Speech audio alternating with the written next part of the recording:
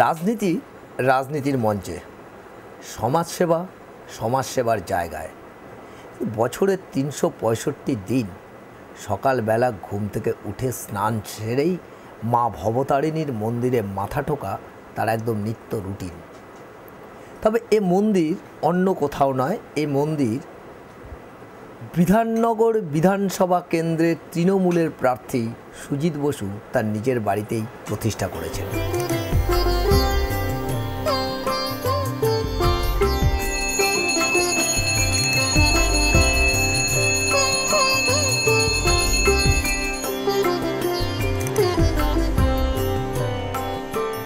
মা ভবতারিণী যেখানে তারা মা রয়েছেন শ্যামামা রয়েছেন, সেই জায়গায় মা ভবতারিণী প্রতিষ্ঠা কেন? যখন মঙ্গল আরতি হয় ভোর চারটের সময়, দক্ষিণেশ্বরে যেতাম আমি। অনেক অনেক রাত্রে গেছি।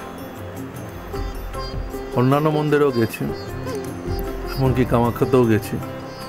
কিন্তু আমার মনে একটা ইচ্ছে ছিল জীবনে যে সম্ভব হবে মানে সবই মনে ঠাকুর হাত দিয়ে করায় মা মায়ের একটা মন্দির দক্ষিণেশ্বর ভবতানের মতো বাড়িতে একটা করব। পুজো আমার কাছে একটা বিরাট বড় পাওয়ার শক্তি। আর এই শক্তিতেই বলতে পারেন, আজ মায়ের আশীর্বাদে যেটুকু হয়েছি আমি, মায়ের আশীর্বাদ ছাড়া সম্ভব হতো না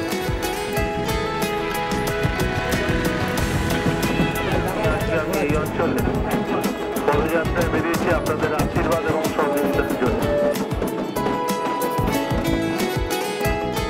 বিধাননগর বিধানসভা কেন্দ্রের তৃণমূলের প্রার্থী সুজিত বসু ছিলেন অনেকটাই আত্মবিশ্বাসী। ছিলেন উচ্ছ্বাসিত। দলীয় কর্মী সমর্থকদের ভিড় দেখে। কোথাও ফুলে, কোথাও মালা কোথাও আবার শিশুরা গোলাপ ফুল দিয়ে তাকে জানালো উষ্ণ অভ্যর্থনা, কেউ দিল আশীর্বাদ। শুধু তাই নয়, উলুধ্বনি শঙ্করধ্বনিও ছিল। কি দিয়েছেন এখানের মানুষকে? আর আগামী দিনের কথা কি ভাবছেন? কর্পোরেশন হওয়ার ফলে এখানে অতীতের কিছু কাজ বাকি ছিল সেইগুলো এবং তার সাথে সাথে কর্পোরেশন হওয়ার পরে এখানে প্রায় চার কোটি টাকার মতো কাজ এই কেন্দ্রের মধ্যেই হচ্ছে, আঠাশ নম্বর ওয়ার্ড। এছাড়া বিধায়ক তহবিল থেকে যখনই যে যেটা চেয়েছে, যেমন রাজ্য সরকারের উদ্যোগে, আপনারা জানেন নবদিগন্তে তখন আমি ভাইস চেয়ারম্যান ছিলাম, তখন আমরা রিং রোডের কাজ শুরু করেছিলাম।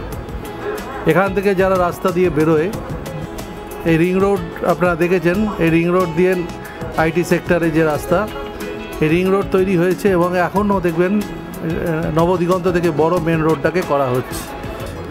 তা মানুষ উন্নয়ন চায় এখানে পানীয় জলের সমস্যা ছিল সেগুলো, যেটা রাজারহাটে হচ্ছে। তার টোয়েন্টি এমজি মানে কুড়ি লক্ষ মিলিয়ন গ্যালন জল আমরা পাবো বিধাননগরে।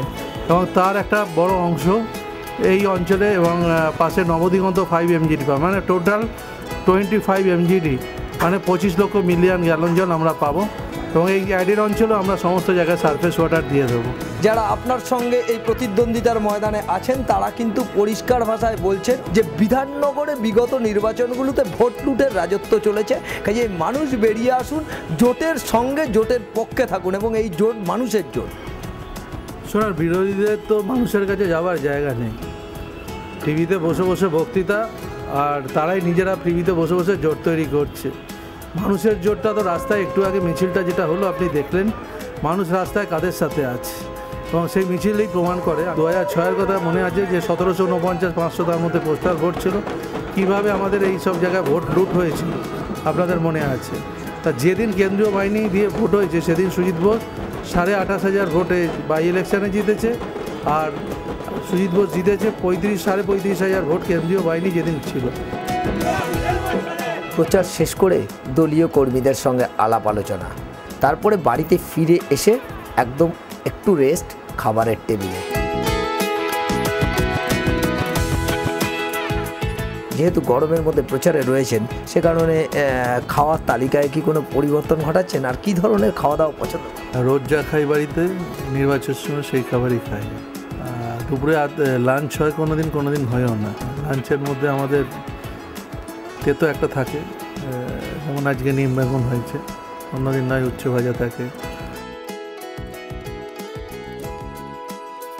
আত্মবিশ্বাসী সুজিত বাবু একদম পরিষ্কার সরাসরি জানিয়ে দেন যে, যা কিছু হোক, যে জায়গাতেই থাকুই, ছিলাম, আছি, থাকব তোমার সঙ্গে, এটাই আমার স্লোগান এবং এটাই নিত্য রুটিন। ক্যামেরায় দীপঙ্কর অধিকারীর সঙ্গে বিমান চক্রবর্তী, নিউজ টাইম।